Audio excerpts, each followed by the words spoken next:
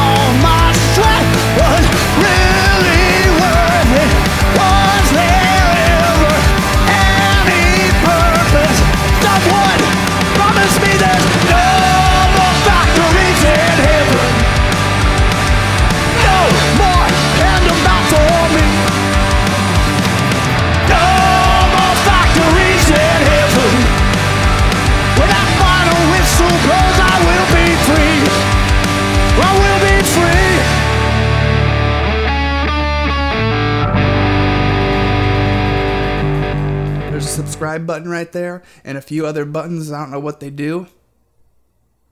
Go on.